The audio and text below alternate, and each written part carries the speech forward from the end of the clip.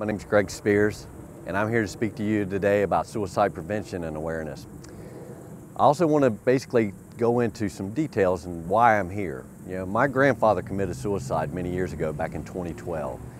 There's not a day that goes by that I don't ask, is there something I could have done? There's something I should have listened to? There's some cue that I should have known that I could have listened a little more and maybe thought or prevented him from doing this. We have a problem.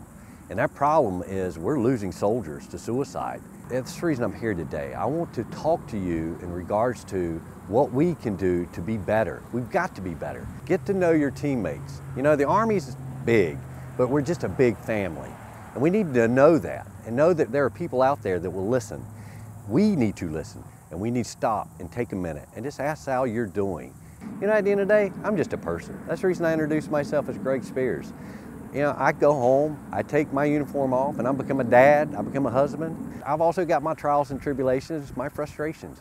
But when I go to work, I want you to know some of those frustrations as well. I mean, we should be able to candidly talk to each other and have a conversation without judgment, without being looked upon differently.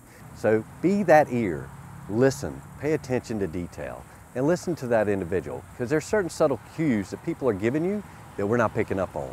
That's how we prevent suicide. That's how we start, is people, not programs that save lives. Thank you.